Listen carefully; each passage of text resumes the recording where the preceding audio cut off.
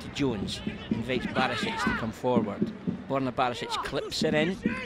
And there's a shooting chance, and it's in the back of the net. It's Ryan Jack on the volley.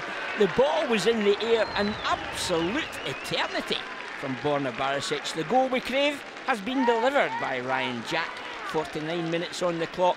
Jack, with great technique, just volleys it beyond the goalkeeper after it's been delivered by Borna Barisic at St Joseph's nil. Rangers 1 and Ryan Jack enjoying the moment. Absolutely, a great finish. Uh, again, Tom, we spoke about it in the first half. Getting a lot of joy down the left hand side there.